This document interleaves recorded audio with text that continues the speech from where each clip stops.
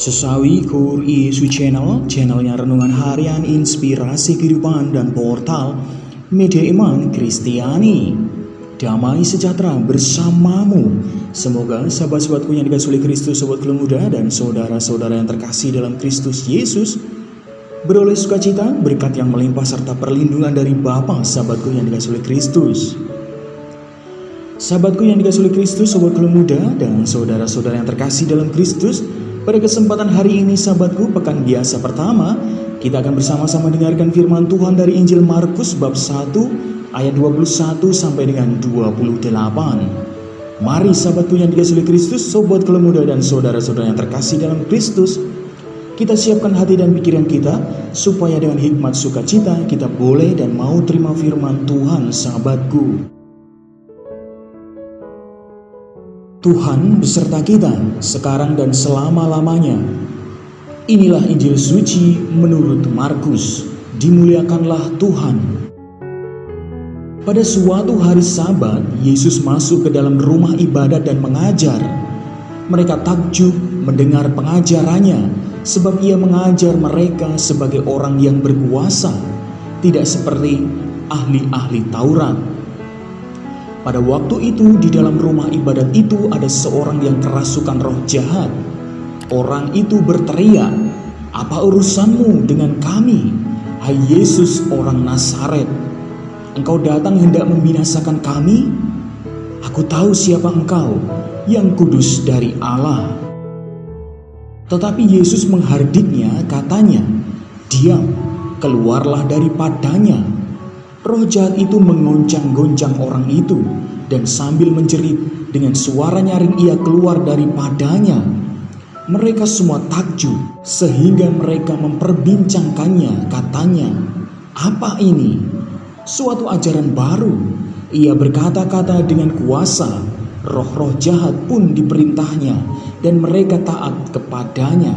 Lalu tersebarlah dengan cepat kabar tentang dia ke segala penjuru di seluruh Galilea. Demikianlah sabda Tuhan. Terpujilah Kristus.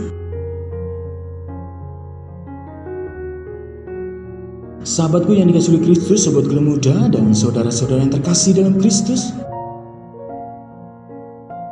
Kalau kita mau lihat kembali dalam kisah Hana, istri Elkana sahabatku dalam satu Samuel ia sedih, direndahkan, merasa hidupnya tidak bermakna karena mandul sahabatku. Ia membawa kesedihan hatinya kepada Tuhan dalam doa, pasrah, dan nazar. Sungguh sahabatku yang dia oleh Kristus, nazarnya untuk kebesaran Tuhan. Jika Allah memberikannya seorang anak laki-laki, maka ia akan memberikannya kembali kepada Tuhan.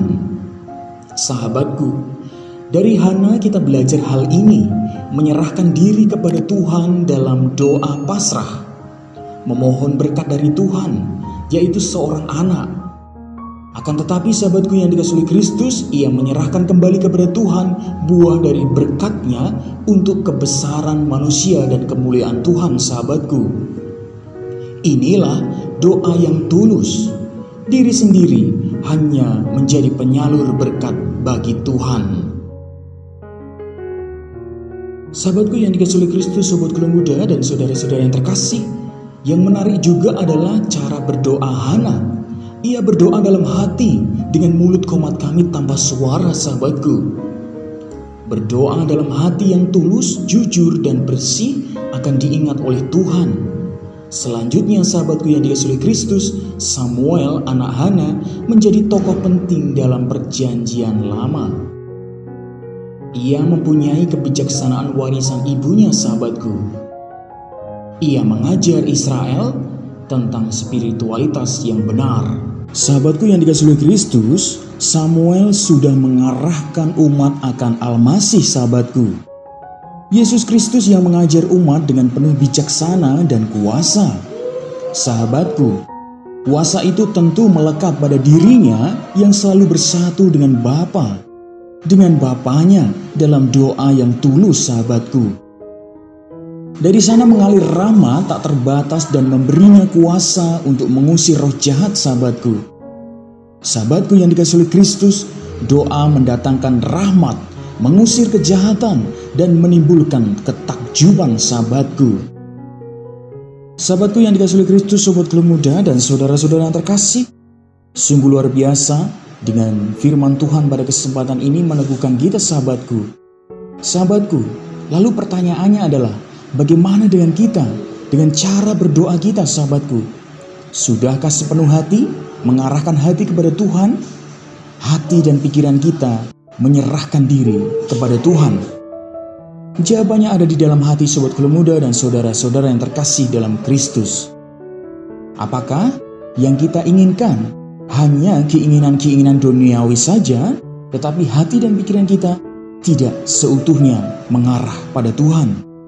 Jawabannya ada di dalam hati sobat muda dan saudara-saudara yang terkasih dalam Kristus semuanya. Amin. Kemuliaan kepada Bapa dan Putra dan Roh Kudus seperti pada permulaan, sekarang selalu dan sepanjang segala abad. Terpujilah nama Yesus, Maria dan Santo Yosef untuk sekarang dan selama-lamanya. Amin. Sahabatku yang dikasih oleh Kristus, Sobat Kulo Muda dan saudara-saudara yang terkasih, mari kita tutup renungan singkat ini dan mohon berkat dari Tuhan. Dalam nama Bapa dan Putra dan Roh Kudus. Amin. Ya Tuhan terima kasih atas segala firman yang boleh kami terima Pada kesempatan ini sungguh menguatkan dan meneguhkan kami Ajarlah kami untuk berdoa Semoga apa yang kami peroleh Kami persembahkan untuk kebaikan sesama dan kemuliaan-Mu Tuhan Pakailah hidup kami menjadi sarana firman-Mu yang sungguh hidup Dan hidup kami semakin menjadi berkat kami juga berdoa bagi mereka-mereka yang terkucilkan, ditinggalkan, kehilangan harapan ya Tuhan, Engkau berkati, Engkau berikan penuh kekuatan, penuh kesejahteraan dan petunjuk hidup mereka selalu. Amin. Kemuliaan kepada Bapa dan Putra dan Roh Kudus, seperti pada permulaan, sekarang selalu dan sepanjang segala abad. Terpujilah nama Yesus, Maria dan Santo Yosef untuk sekarang dan selama-lamanya. Amin. Dalam nama Bapa dan Putra dan Roh Kudus. Amin. Sahabatku yang dikasih oleh Kristus, sobat muda dan saudara-saudara yang terkasih, terima kasih banyak sahabatku kita sudah mau bersama-sama dengarkan firman Tuhan dan renungkan bersama. Sahabatku, mari kita intens dengan Tuhan dengan berdoa, karena doa adalah kekuatan utama kita untuk dekat dengan Tuhan. Sebarkan video ini supaya banyak orang semakin terima berkat dan terima rahmat sukacita, banyak orang semakin dikuatkan, banyak orang semakin diteguhkan iman mereka yang gelap diberikan terang, yang buntu diberikan jalan. Sampai jumpa di renungan harian episode selanjutnya. See you later. Bye-bye berkah dalam Tuhan memberkati.